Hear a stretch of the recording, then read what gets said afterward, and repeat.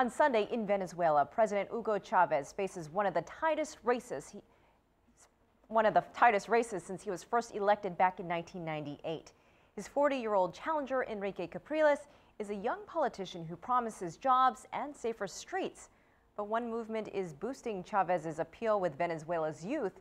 CCTV's Michelle Begue is in Caracas with more. Michelle.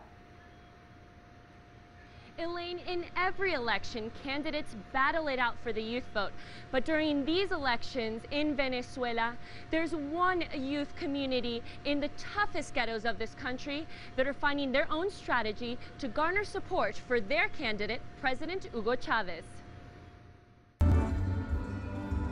Armed with only spray cans, stencils, and big ideas, a group of artists has made their views pop on the busy streets of Caracas.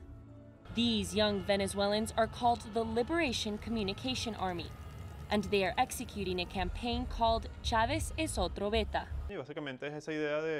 Basically, it is that idea of the youth making Chavez our own. It's a metaphor. We see ourselves in Chavez, and he sees himself in us.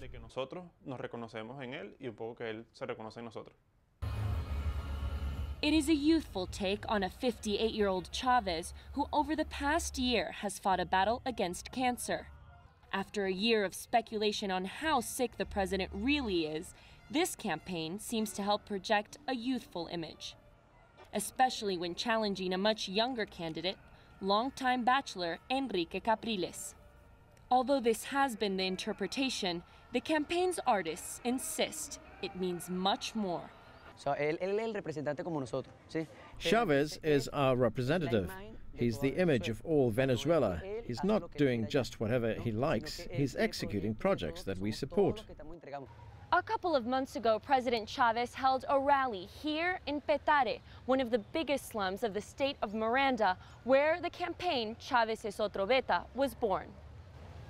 The young voters and creators of the campaign come from different barrios or communities like this one, where government programs are trying to make sure the youth stay away from the prominent drugs and guns.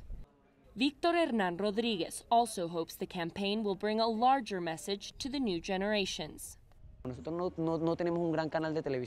We don't have a huge television channel, but we can take over public spaces. We can take a billboard and instead of having it sell us a drink, we can make it communicate our message. And for now, this group's message is that they'll support their president's attempt to get elected for a third term. Michelle Begue, CCTV, Caracas. Dance and Sports Group are also lending their support to this graffiti campaign. Back to you, Elaine.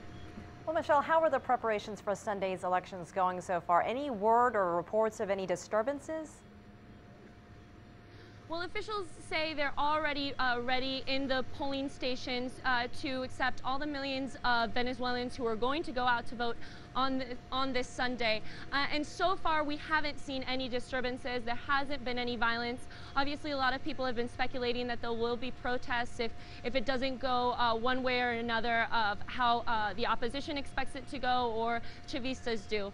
Um, what we have been hearing, uh, some media reports are saying that some people are going out to supermarkets to get uh, food and other provisions in case protests do let out after these elections but there haven't there hasn't been any violence since last Sunday at a Capriles uh, rally where uh, two supporters of the opposition uh, were killed. Okay, Michelle Begue reporting live from Caracas. We're looking forward to your reporting on Sunday. Thank you.